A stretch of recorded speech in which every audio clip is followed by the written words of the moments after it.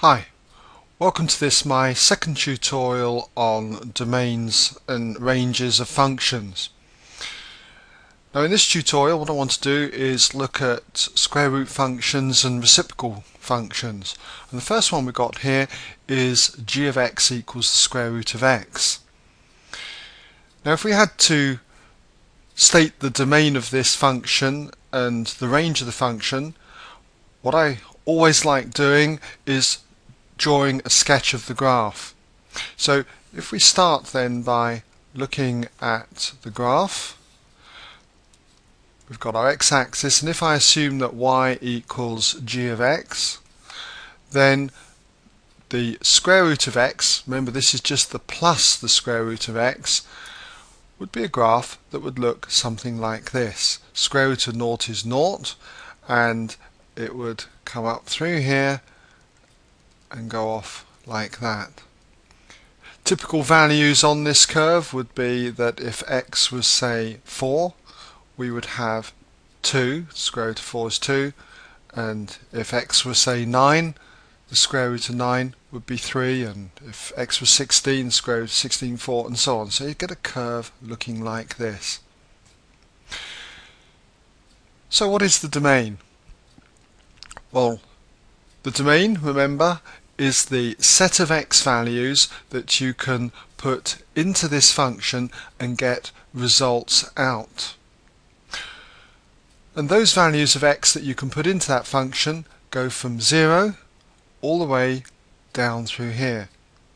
You cannot put any of these x values in, any of these negative values.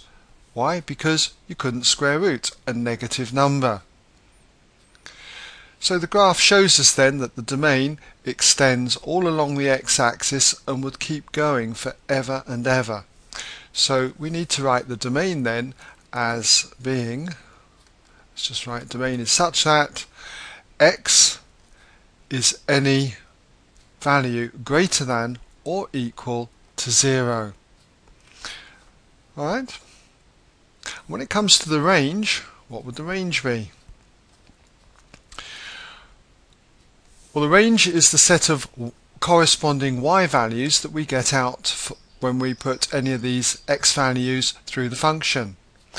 And so those y values extend up the y-axis from 0 all the way up forever and ever. So we can say that those y values, which we're calling g of x, are values that are greater than or equal to 0. And that's our range for this function. However, if we restricted the domain, let's say we took the same function, g of x equals square root of x, but we restricted the domain to be, say, x is greater than or equal to 4, but less than 25. Let's just draw some axes, like so.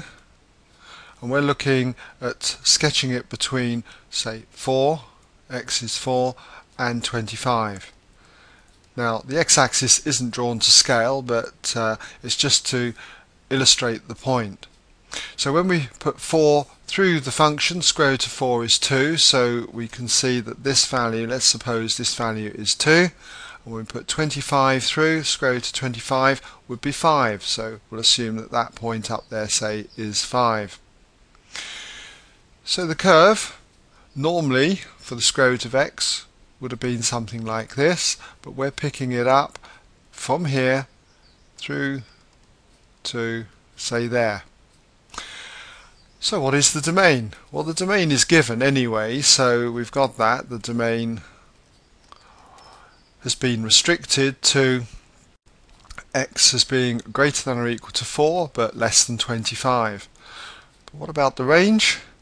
Well the range is the set of corresponding y values when you put any value greater than or equal to 4 through the function but less than 25. So these will be these particular values.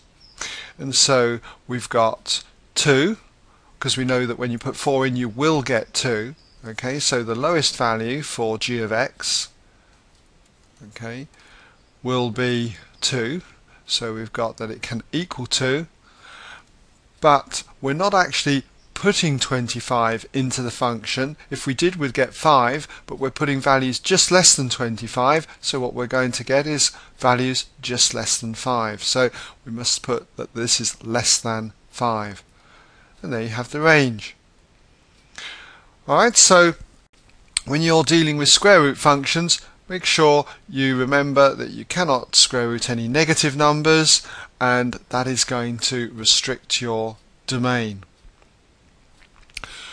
Okay, well now what I want to do is show you how we handle reciprocal functions.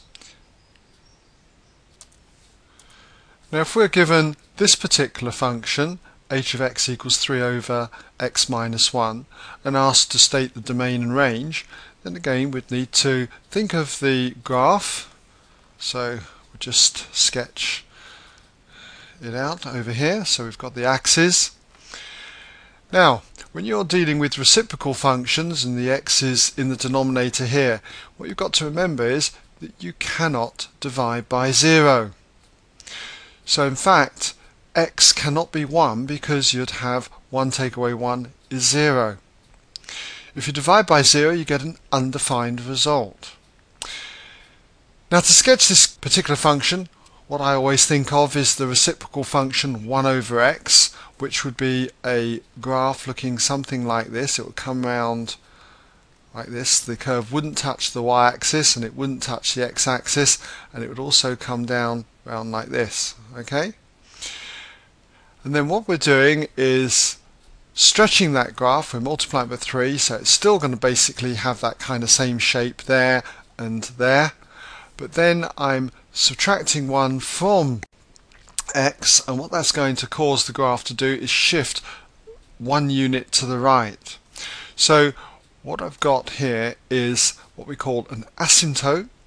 Okay, and I'll just mark that here. And that value on the x-axis is the value x equals 1. And so what would happen is that this graph would look something like this. Okay, not touching this line here and not touching the x-axis and it will come through here and drop down like that. Okay, so what is the domain? Well, we can see from the graph, I hope, that the domain is all the x values that you can put into this particular function. Now you can put all the x values going in this direction from 1 into the function and all the x values going out in this direction forever and ever okay that are less than 1 but you cannot put the value x equals 1 into the function because you get this undefined result because you're dividing by 0. So we describe the domain as x can be any real value okay except the 1 here. So we tend to write x not equal to 1 right?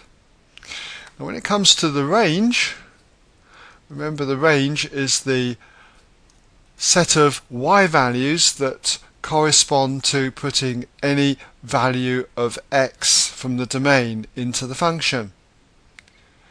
So, when I put any of these values of x into the function, you could read off the corresponding values of y. And so if I put any of these x values that are greater than 1 into the function, you can see that I get all of these y values up here. They go from just above 0 all the way up forever and ever. And when I put these values of x that are less than 1 through the function, what I get back is any of these y values down here that are less than 0. So in other words, the range, which is given by h of x, okay, h of x is again any real number except 0. So we say that h of x cannot equal 0. Alright? Okay, well that brings us now to the end of this tutorial and I hope you've been able to follow my examples and uh, we'll use possibly a similar technique by sketching the graphs and being able to read from the graphs your domain and range.